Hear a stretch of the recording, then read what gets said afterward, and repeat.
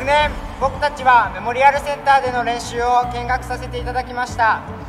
ハードルで一つ一つの動作を丁寧に確認したりメディシンボールで 20m 近い距離まで投げたり質の高い練習にとても驚かされました。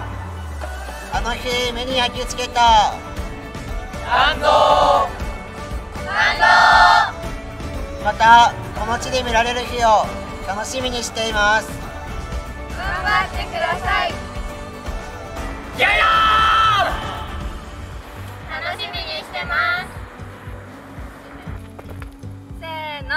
頑張ってください。目指せ世界一頑張ってください。目指せ金メダル。